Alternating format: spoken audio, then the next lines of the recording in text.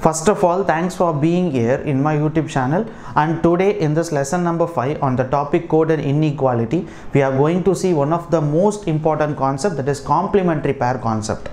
So friends, don't forget to watch all my previous lesson because previous lesson that is in lesson number 1 we have learned introduction, lesson number 2 direct statement, then lesson number 3 connecting a statement, then lesson number 4 framing a new statement. So only if you watch all my previous lesson you can able to understand this complementary pair concept.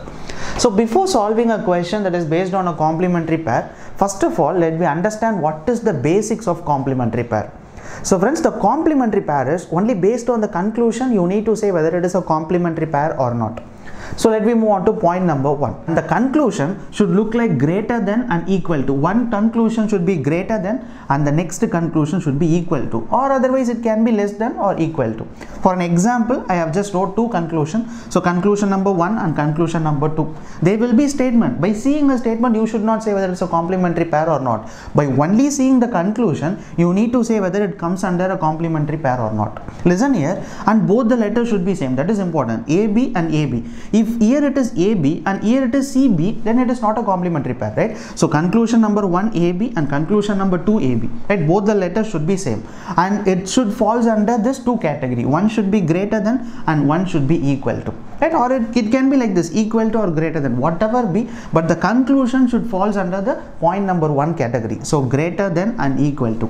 So now I am saying both the conclusion is a complementary pair, but we need to check whether it satisfies the condition. If it does not satisfy the condition, you should not say the answer is either or. If it satisfies the condition, then only you need to say the answer is either or. Listen carefully. By seeing a conclusion, we found that it's a complementary pair. Point number two we need to combine both the conclusions right? So combine both the conclusion a greater than b and a equal to b. So while you combine both the conclusion it becomes a greater than or equal to b. So friends got it? By using both the conclusion we have framed a new conclusion that is a greater than or equal to b. Now check the new conclusion in the statement. If it satisfies if this conclusion a greater than or equal to b satisfies the statement then we need to say the answer is either or right? If it does not satisfy the statement then the condition is you need to check conclusion number 1 separately you need to check conclusion number 2 separately. Friends got it? First of all by seeing the conclusion check whether it's a complementary pair or not. It is a complementary pair. So one is greater than and second is equal to. If it is a complementary pair you need to combine both. So while combining greater than and equal to it becomes greater than or equal to. Now what you need to do is you need to check this conclusion whether it is true or false. If it is true then you need to say the answer is either or. If it is false then you need to check conclusion number 1 separately conclusion number 2 separately and you need to say the answer. Question number 1 and here they have given a statement that is k greater than or equal to r and r greater than or equal to a and less than n equal to t. Friends listen carefully. N and t both are equal. So this can be written as nt and less than i and greater than v. So they have given a statement like this. So after given a statement and they have given a conclusion conclusion number 1 that is k greater than a and conclusion number 2 k equal to a so friends, first of all, by seeing a conclusion, I can say it's definitely it's a complementary pair. Why? Because one symbol is greater than and the second symbol is equal to. Similarly, the condition says if one symbol is greater than and the second symbol is equal to, then we need to say it's a complementary pair. But by seeing both the conclusion, you should not directly go for the option either or. That is exactly wrong. What most of the students are doing is by seeing both the conclusion, okay, it's a complementary pair, and they are going with option number three that is either either 1 or 3 follows. That is wrong. Even though it's a complementary pair you need to check whether it satisfies the condition or not. That is important. So friends let me move on to con conclusion number 1 separately. K greater than a. You need to compare k and a. So while comparing k and a we have two symbol. So greater than is also common. Equal to is also common. So while comparing k and a we got an answer k greater than or equal to a but the conclusion says only k greater than a. While comparing we got greater than or equal to. But the conclusion says only greater than. So we need to say conclusion 1 is false. Conclusion number 2 k equal to a. But while comparing k and a we got greater than or equal to. But this conclusion number 2 says only equal to. So conclusion number 2 is also false So conclusion number 1 separately we have checked in the statement it is false. Similarly conclusion number 2 is also false. And we found that both the conclusion is a complementary pair. So if it falls under category number 1 then the next step is combine both the conclusion. So while combining conclusion number 1 and conclusion number 2 it becomes k greater than a conclusion number 1 and the second is k equal to a. Now it becomes k greater than or equal to a. So friends, while combining both the conclusion, it becomes k greater than or equal to a. The new conclusion is k greater than or equal to a. Step number 3. Check the new conclusion in the statement whether it is true or not. So conclusion says k greater than or equal to a. While comparing in the statement, similarly k and a the symbol is greater than or equal to.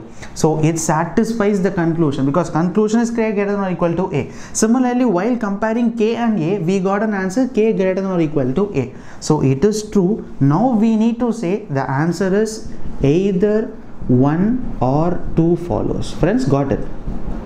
So the final answer is either 1 or 2 follows. So answer for question number 1 it is either 1 conclusion number 1 or conclusion number 2 follows. The meaning of either or is so either 1 or 2 that is greater than or equal to follows. So friends most important concept and uh, listen carefully by seeing a complementary pair kindly don't directly go with option number 3 once you need to check whether it satisfies the rule or not. If it does not satisfies the rule then the answer is not an either or. If it satisfies the rule like this then we need to say the answer is either 1 or 2 follows. So let me move on to another example question so that you will be strong on this concept. Question number 2 so here they have given a statement that is S greater than or equal to T, T greater than or equal to M, M and L both are equal. So this can be written as ML and greater than or equal to D and greater than Q. So let me move on to conclusion number 1 and conclusion number 2. So friends by seeing this conclusion we can definitely say it's a complementary pair. Listen carefully the second conclusion is S greater than D and the first conclusion is S equal to D. Friends, D equal to S, S equal to D, both are same. So this can be written as S equal to D.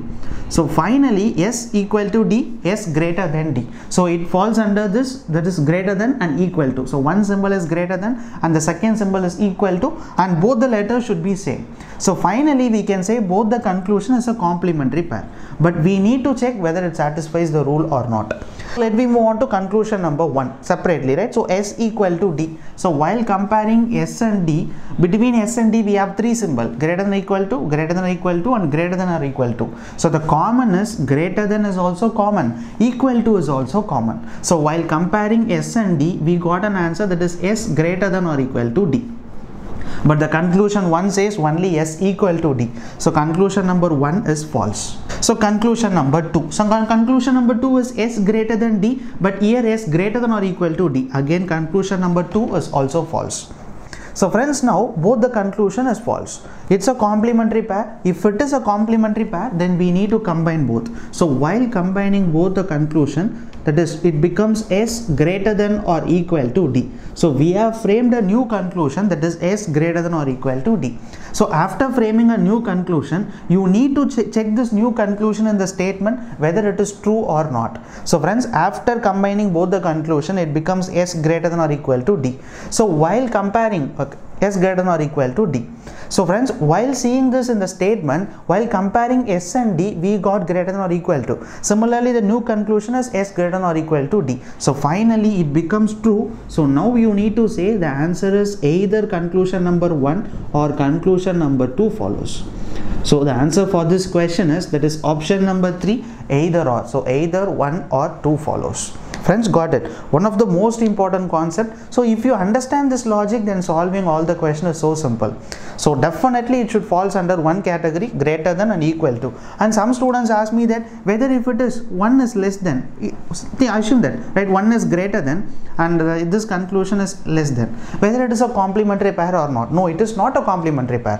One can be less than and one can be equal to but if one conclusion is greater than and the second conclusion is less than then it is not a complementary pair right? So friends let me move on to the third last question. And where even though it's a complementary pair it does not follows the complementary rule. Let me move on to the last question. So d greater than f greater than l less than or equal to n greater than o greater than s greater than or equal to v and v equal to x. So v and x both are equal. So this can be written as vx Okay, so now let me move on to conclusion number 1 and conclusion number 2.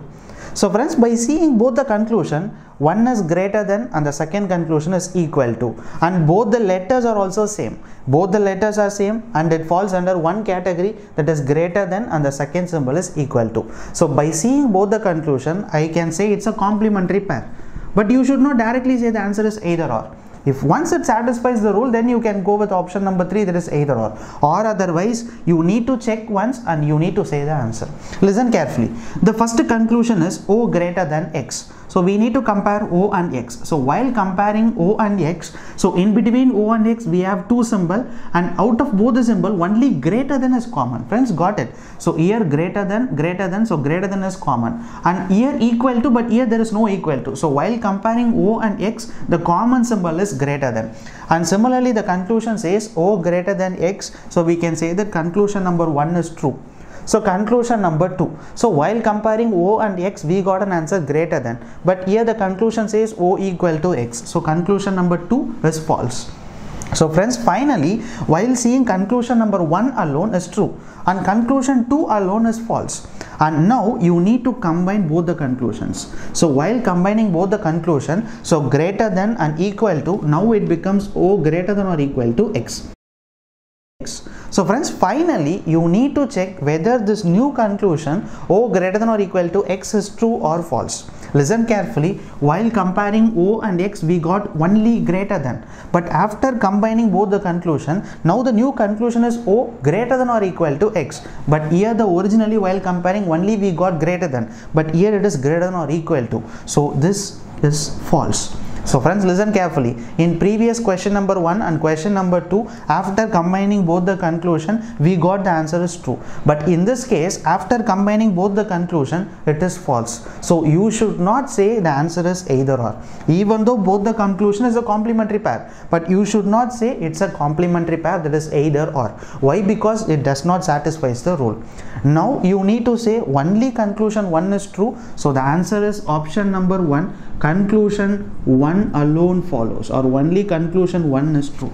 So friends got it just see the difference between question number 1 and question number 2 and question number 3 which is most important. So friends in question number 1 and question number 2 after combining both the conclusion we have checked whether it is true or false. So while we check in the statement it becomes true. So we have said the answer is either or. But in this question number 3 after combining both the statement and we have checked with the statement it is false. So once if it is false then the answer is not an either or. You need to separately check conclusion number 1 and conclusion number 2 so here conclusion number 1 alone is true. So we we need to go with option number 1 that is conclusion 1 alone is true.